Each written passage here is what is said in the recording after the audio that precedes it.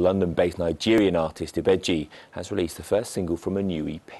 The song, sung in traditional Yoruba language, is called Gonto and puts the spotlight on the last year with the movement to end racial injustice at its heart. Hebe has been speaking to Ibejii about the track.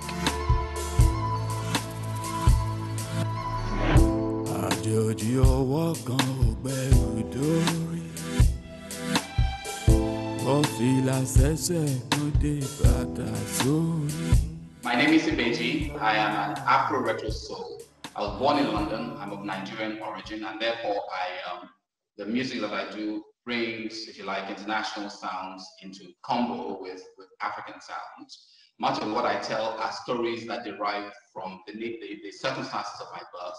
So you'll find a lot of stories that straddle my African origin, my British birth, um, it's about engaging with the world using musical notes. Yeah, it's also about using visual visual material to tell stories.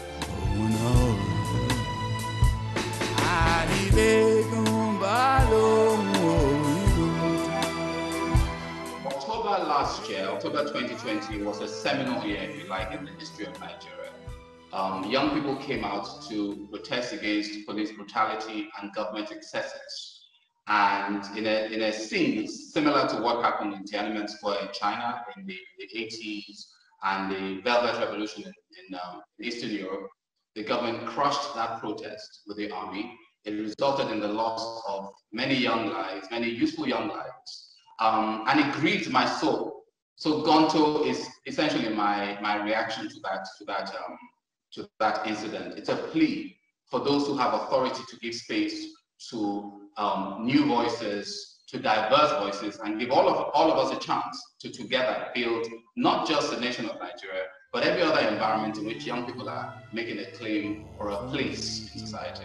We all have a place collectively uh, in society. Yeah, whether you're young, whether you're gay, whether you're Christian or a Muslim, whatever your demographic is, we all have a place in society, and every single voice matters. So I'm hoping the listener comes away with you know, being a little bit inspired to take that place, to, to be heard, and to insist on being heard, because it is good for society that we're all heard. And how are you looking to launch this in London? Well, we have a, a series of little shows uh, all around the place that are being arranged as I speak.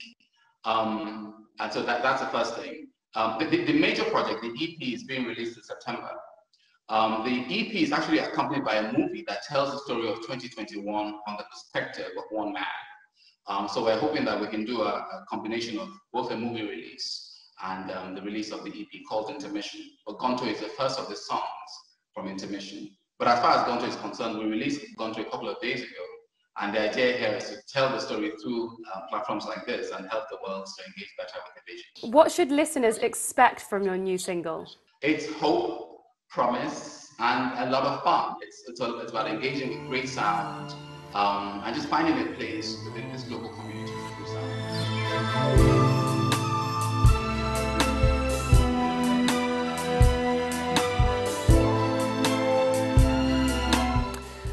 single is out today and the EP will follow later on this year. Finally, some art spanning seven decades of